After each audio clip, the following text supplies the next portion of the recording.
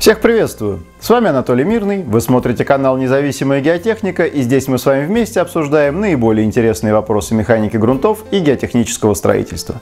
Подписчица поинтересовалась, как интерпретировать результаты расчета с помощью инструмента пластические точки. Это действительно довольно актуальная задача даже для тех, кто не занимается математическим моделированием сам. Потому что получив какой-то результат расчета, пусть даже вы не сами его делали, а смотрите отчет, вы должны понять, что же получилось, оценить правильность данного расчета. И это можно делать не только по изополям напряжения и деформации, но и с помощью других встроенных в расчетный комплекс инструментов. Так, например, популярный комплекс Flex использует инструмент пластические точки, то есть подсвечивает на модели те узлы, в которых наблюдаются те или иные напряженные состояния, отличные от упругости. Вот давайте с этим и разберемся. Я попробую пояснить это на доступных примерах, но сначала давайте вспомним, а что же вообще такое пластическое состояние. В идеально упругом теле может существовать какое угодно напряженное состояние, то есть любые соотношения нормальных и касательных напряжений вполне допустимы. У упругого тела нет никаких пределов, оно может деформироваться сколько угодно и оставаться при этом сплошным, то есть не разрушаться.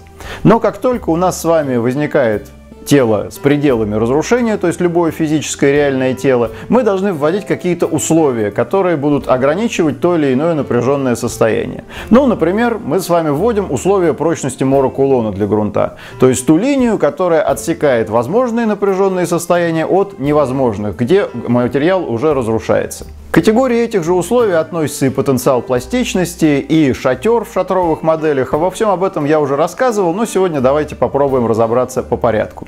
Возьмем для примера самую простейшую модель, модель Мора Кулона, с помощью которой смоделируем основание под жестким штампом. Начинаем нагружать этот штамп и обнаруживаем рост касательных напряжений в основании. Все это мы с вами видели в учебниках механики грунтов. Если же мы теперь воспользуемся инструментом пластические точки, то увидим поле красных точек под штампом. Что это такое? Это те узлы, в которых перестало выполняться условие прочности кулона Мора. То есть достигнуто предельное касательное напряжение. Дальше касательное напряжение расти не может. Фактически в этих узлах грунт перешел из упругого состояния в состояние пластического течения. По умолчанию в модели Мора Кулона Плаксис отсекает работу грунта на растяжение, так как далеко не все грунты э, на растяжение действительно работают, а модель при этом может приводить к завышению прочности. Если же мы эту галочку уберем, то модель будет работать так, как работает теоретическое условие прочности Мора Кулона. То есть в области растяжения предел прочности это та величина давления связанности, которую мы знаем c котангенс фи.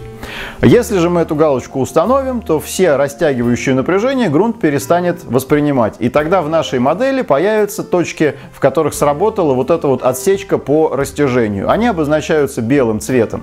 Э, ну, к сожалению, в примере со штампом их видно плохо, зато хорошо видно, например, при расчете устойчивости откоса. Само тело откоса находится в пластическом состоянии, красные точки отмечают наметившуюся поверхность скольжения, а в верхней части откоса есть точки растяжения, где произошла отсечка по прочности грунта на растяжение.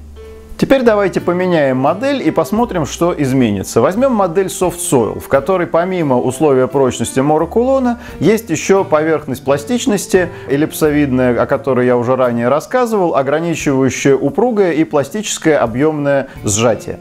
Приложив нагрузку к штампу, мы увидим, что в инструменте пластические точки появились так называемые cap points, то есть по точке, где напряженное состояние перешло за границу вот этого шатра. Это означает, что в данных областях напряженное состояние превысило бытовое или переуплотненное, если вы задавали переуплотнение, и начались пластические деформации объема.